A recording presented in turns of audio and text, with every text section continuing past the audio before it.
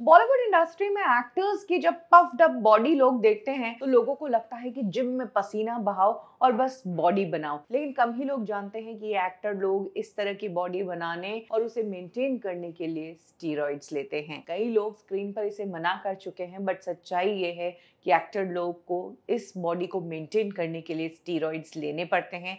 और अब एक स्टार किड ने कंफर्म किया है कि सलमान और ऋतिक जैसी बॉडी पाने के लिए उसने भी स्टीरोइड्स ट्राई किए।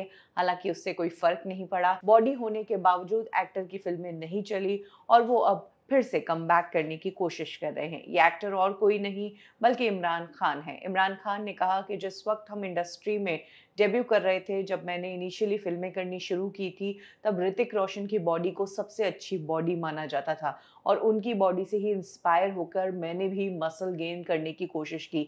मैंने जिम किया ट्रेनिंग की स्टीरॉइड्स लेने की भी कोशिश की, लेकिन मुझे कुछ ज़्यादा फ़र्क नज़र नहीं आया। उन्होंने कहा कि 90s में सलमान खान और संजय दत्त की बॉडी को बहुत पसंद किया जाता था, और जिस वक्त मैं आया, तब ऋतिक रोशन सबसे टॉप पर थे बॉडी के मामले में।